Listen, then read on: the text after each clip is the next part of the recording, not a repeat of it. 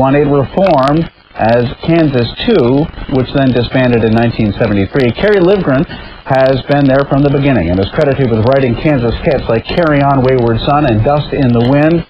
Little hits like those. Along with Lynn Meredith, he's uh, fronting Proto-Kaw the Reformed Kansas, Proto-Kaw's new CD before became after hit stores yesterday.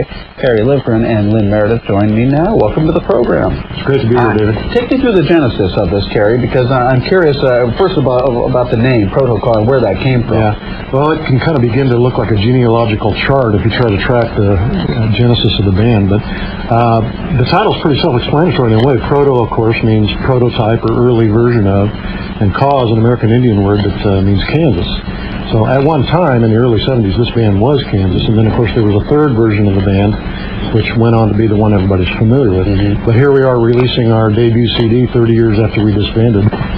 Lynn, tell me about the material we're going to hear on the album itself. Uh, does it does it harken back to the, to the old days, or? Well, three of the songs do. Three are uh, ones we did in the 72-73 period, and Kerry kind of freshened those up, and then he wrote seven brand new ones uh, including one just a month ago that uh, will have some single potential. So it's relatively new music. You guys have known each other all these years. Uh, been in touch most of these years as well? Actually, we haven't. One of the most amazing things about this story is uh, we all lost track of each other. And uh, we had some demo tapes of this band that were circulating around on the internet. They were actually bootlegs. And for once, that worked in our favor. Because of these bootlegs, people got very interested in this band that was doing this very innovative music back in the 70s and I was contacted by a small label to release these bootlegs legally, officially. And that led to a reunion where we all got together and saw each other. And it occurred to me, uh, wow, wouldn't it be interesting to see what we could do now? And so we started playing together, and one thing led to another. I began writing music for this band and it's a combination. And it's based on our history together, but it's totally new stuff. It's uh, it's kind of hard to put your finger on really what it is. And, and while uh, the the relationships probably felt probably pretty easy to get back together once again, it must have been a little strange considering all the technological advances and all that's changed in music over the years, Lynn, to, to get back into the studio together. Was that fun? It was great. And for five of us, we had never had the opportunity to record because when we disbanded in '73, Kerry went on to a great career and we all went to college and got married and got jobs, and then we get this bizarre phone call 18 months ago, and which led to the reunion. So it was really our first time to record, and it was very exciting, something we'd always wanted to do. What's uh, what's the plan here? Is you guys going to take this on the road, or uh, how well, that, play this? that of course is the plan. I, I would say at this point, more than a plan, it's a hope. Uh, our CD just came out yesterday, so this is a, a really a debut. So we're going to wait to see how that pans out. Uh, we've already played uh, one show. We basically got together just to see really what it would feel like to all play together. And this was, of course, after the CD.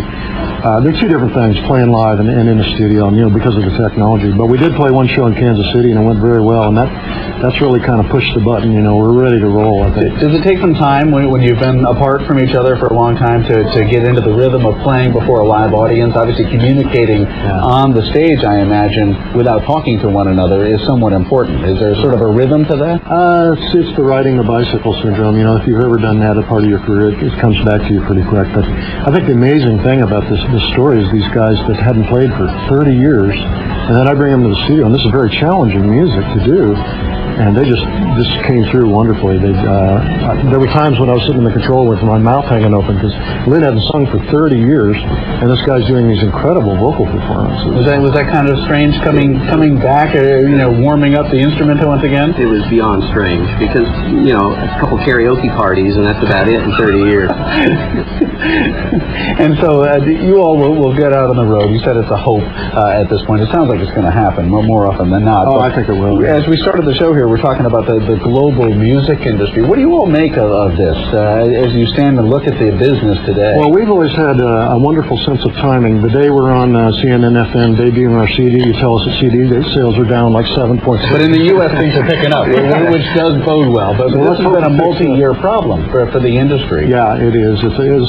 I think it's all part of the strange times we live in. And uh, one of the things we've done, we've really tried to put together some music that is very hopeful in tone. It's very up. Uh, there's a song called Words of Honor on the CD that uh, Uh, this has only happened to me a couple of times in my life, but uh, it was a last-minute addition to the album, and the last two times I did that was "Carry On Wayward Son" and "Dust in the Wind." So hopefully that bodes well. And it's a song about hope and integrity and goodness and honor. And uh, I actually sent it to some of our troops in Iraq. I was going to say something that sounds like something that, that we need more of today. I've got, I've got a Marine friend that's over there right now in Fallujah, and we sent the, the song to him, and uh, I think that I think Is it's the been- pin related to that at all, or is it? Uh, you know, when Kansas was Kansas has always been a big military supporter band. We did USO stuff and everything when nobody else was doing it. And a serviceman gave me this pin. I don't even know what unit it's from or whatever, but I, I wear it with honor as an honor. honor Uh, Lynn, given the amount of time that, that it had been before, before sort of coming out of retirement uh, to start singing once again, uh, what happens? Uh, is, is your your real life, I'll call it, on hold at the moment, or how do you view that? It's not on hold. We all work. We still have jobs and families and go to football games and all the things normal people do. We've done this predominantly on weekends, time off, and uh, you know we'll just have to wait and see what comes of it. But our families have all been very accommodating and supportive. Yeah. Well, this is a newsworthy worthy item. Actually, we all work. I mean, How often do you hear that? What, what, what do you all do in your real life? I have an internet business, and we uh, we develop websites. And Uh, our keyboard player is an engineer for uh, NPR uh, and uh, public television in Nebraska. Uh, but I think all the guys are ready to pretty much drop what they're doing to to go do this. Yeah, I'm getting I'm getting the Blues Brothers feeling right Yeah. now. We're getting the There you go. band back together. Yeah, uh, the, the group is called Proto-Kaw. Before became after is the name of the album. Thanks for being with us today. Hey, it's Thank really you. a pleasure. Best of luck to you both. appreciate it. Thanks a lot.